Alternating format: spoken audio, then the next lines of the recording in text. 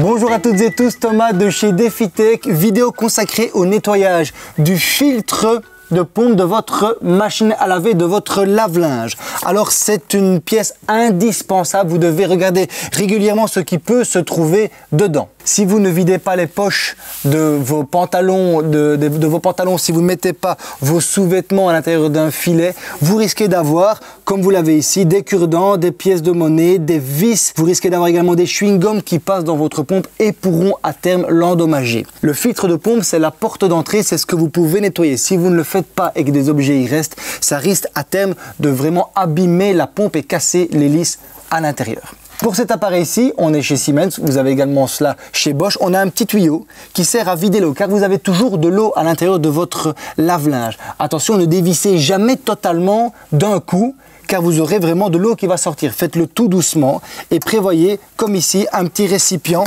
sous votre lave-linge. Voilà, on a vidangé la machine.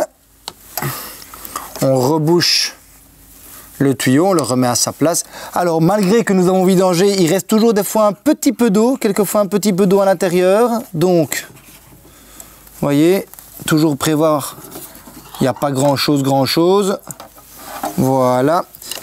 Ici, vous avez l'accès à l'hélice de votre pompe de vidange. Vous pouvez aller dans le fond, faites tourner l'hélice. Si l'hélice tourne normalement, il n'y aura pas de souci. C'est dans cet endroit-ci que vous trouverez les petits cure-dents, les petites pièces de monnaie, les vis qui pourraient également être apparus pendant le lavage. Donc c'est vraiment l'endroit qui va vous permettre d'entretenir votre pompe de vidange et d'éviter d'abîmer votre appareil.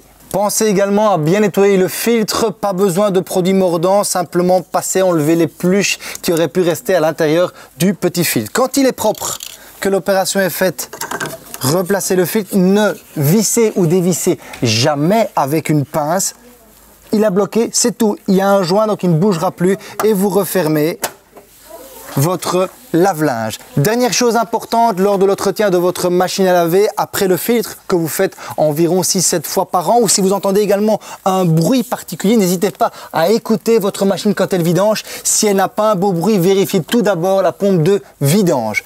Également, Vérifiez bien à chaque fois que vous videz votre machine s'il n'y a rien qui traîne dans le joint ici. Imaginez vous avez une vis ou un cure-dent qui est venu se mettre ici, il déchire votre joint. Merci à toutes et tous d'avoir regardé cette vidéo. N'oubliez pas d'entretenir vos électroménagers, le filtre de pompe, le joint de votre lave-linge. Vous les tiendrez plus d'années comme cela. Partagez cette vidéo, laissez des commentaires Facebook, YouTube et Pinterest et à très bientôt pour d'autres vidéos. Ciao